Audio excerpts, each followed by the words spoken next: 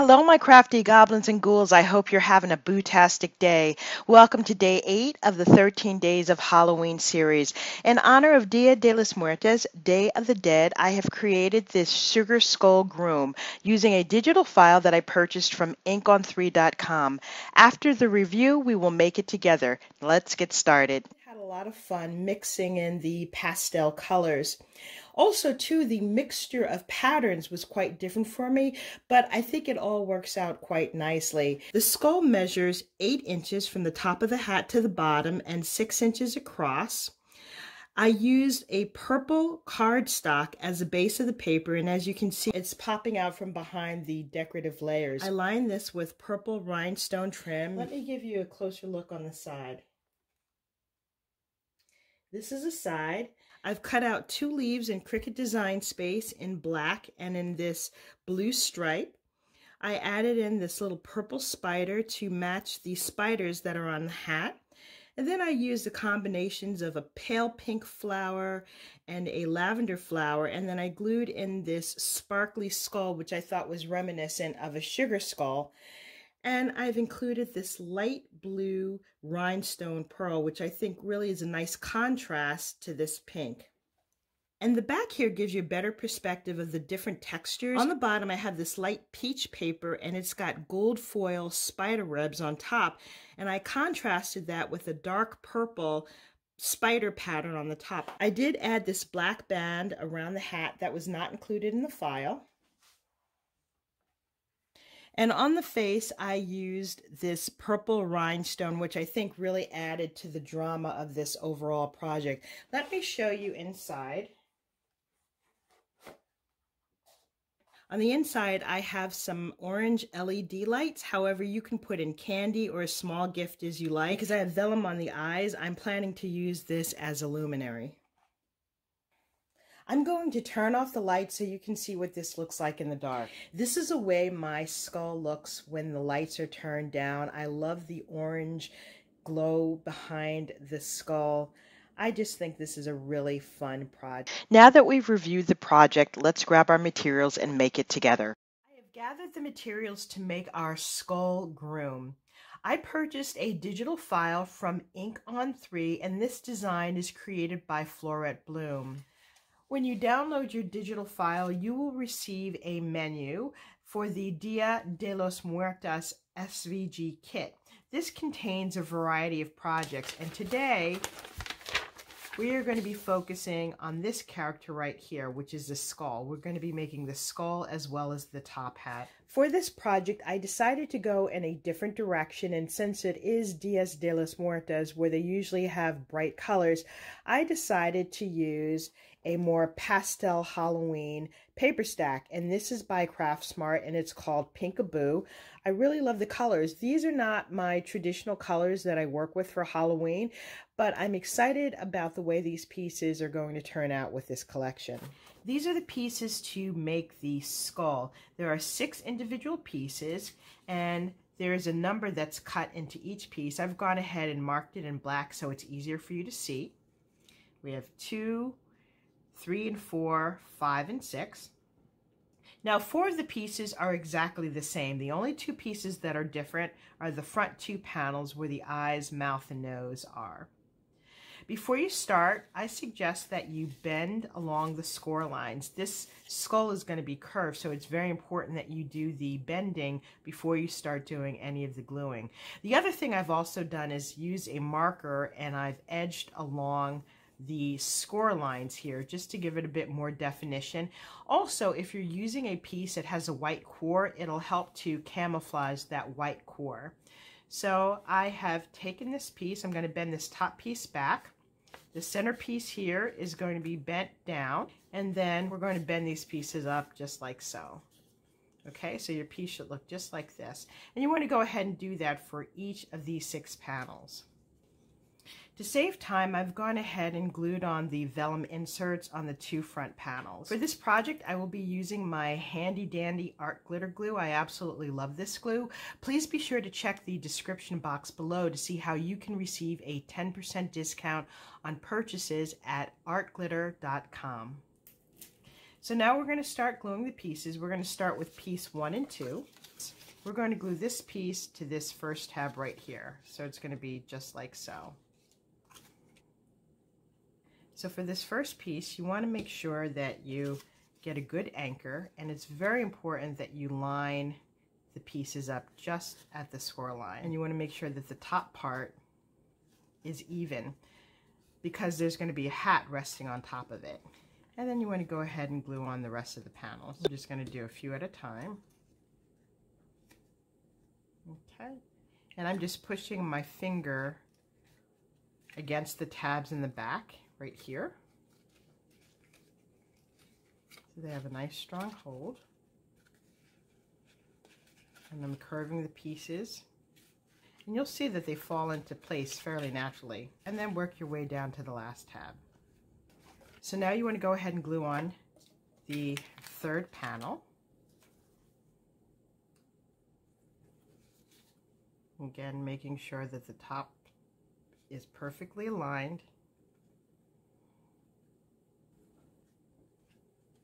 And then go ahead and glue on the rest of the tabs.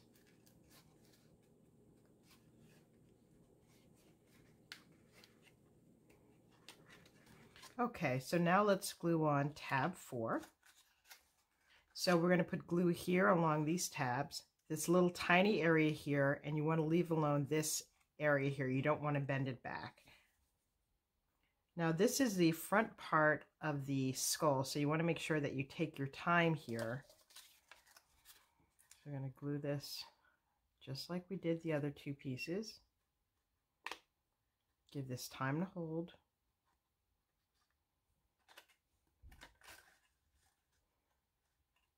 work your way down. I'm just running my finger back and forth to make sure that the seams are attached.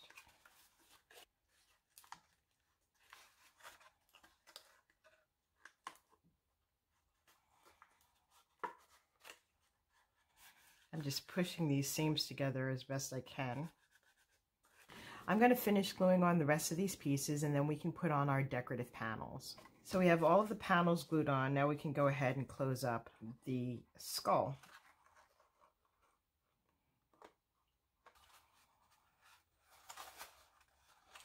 Now we have our skeleton head closed up. Let's turn it over and we're going to fold these tabs down. I'm going to turn it back over and grab one of these pieces and we're going to put that right in the bottom of the skeleton.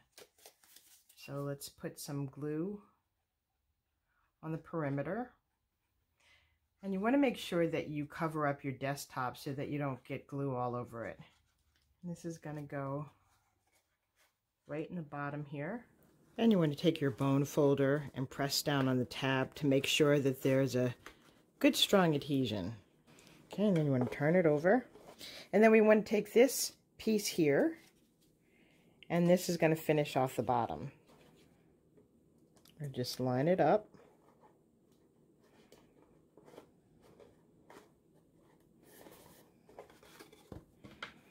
Again, I'm going to flip this over and use my bone folder just to make sure all the tabs are glued down.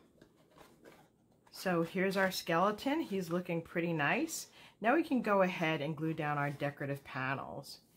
And I have them laid out here. So the two pieces will go in the front. And then you've got two pieces that are the same and the other two pieces. So let's go ahead and add some glue. You want to make sure you get that little tiny area right there. And we're going to glue this right into place over here. And there should be a slight border around these panels. And make sure you give this top piece time to hold. Just make sure all the edges are securely glued down. Okay, so let's glue on the other side of the face.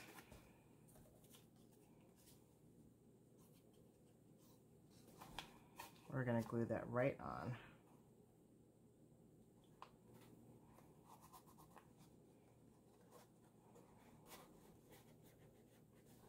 I'm going to finish gluing on the rest of these pieces and then I'll be right back.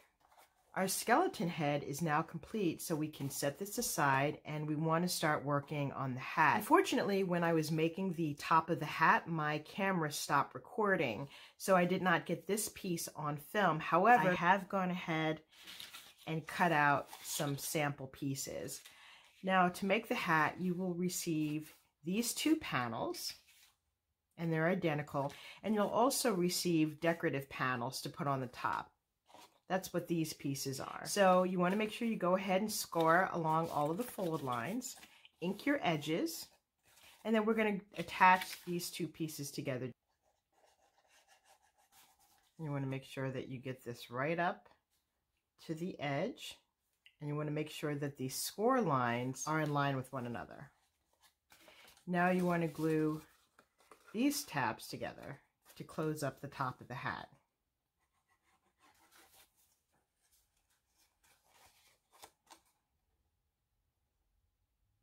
Okay, and now what you want to do is flip this over. You're going to glue this piece onto the bottom of the hat. And that's what we've done here. We've glued on the panels and we've glued on this piece along with the decorative panel. Okay, so I'm going to set this aside. Now that we have the top part of the hat completed, let's flip this over. And we're going to fold in these smaller tab pieces and you want to grab your brim. Now I've already gone ahead and put the decorative piece on the brim. I'm going to flip this over and put this on top of the hat, right at the edge. Okay, then you want to fold these tabs up and then you want to glue them down. So I'm going to start putting glue on each of these tabs and you want to glue them down to hold the brim in place.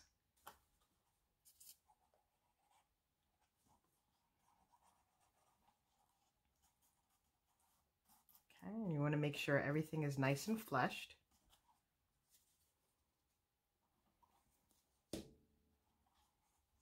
And work your way around the perimeter of the hat.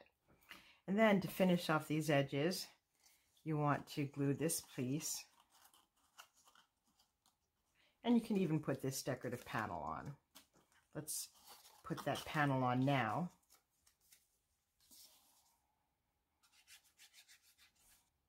Okay, we're going to glue this down. And there should be a nice little border, just like all of the other pieces around this. Okay, now we want to put glue on the back of this. And we're going to line this up just like so. So this will have a nice finished edge on the top and the bottom. And this should fit perfectly. There's our hat. Now, I do want to put one last little decorative detail. In your file, you get this little mustache, which you can place right here. So I'm going to put glue on this piece here.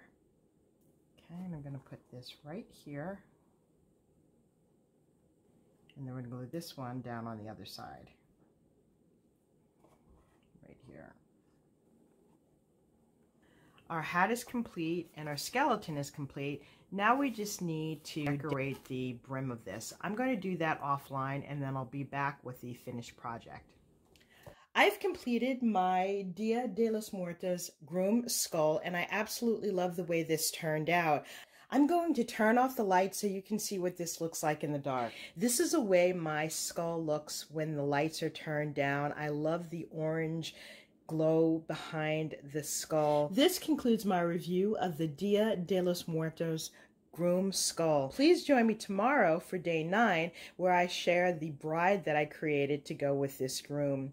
Hopefully I've inspired you with some fun and creative ideas. If you like this video, please take a moment to leave a comment, subscribe, and don't forget to hit that little bell. Also, stop by and visit my friends Rosa Kelly Scrapbooking and Michelle Randolph from Shabby Chic Chick to see their spooky Halloween creations. Thank you so much for joining me, and I look forward to seeing you soon. Bye for now, and happy crafting.